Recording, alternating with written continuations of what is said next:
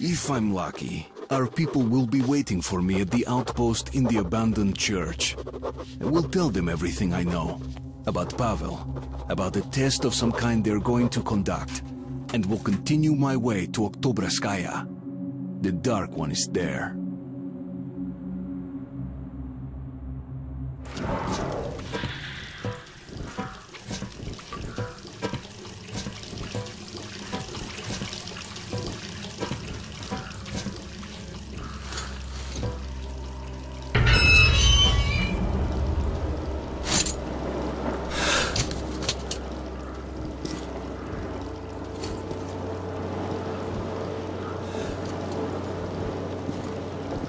Here it is, the swamp.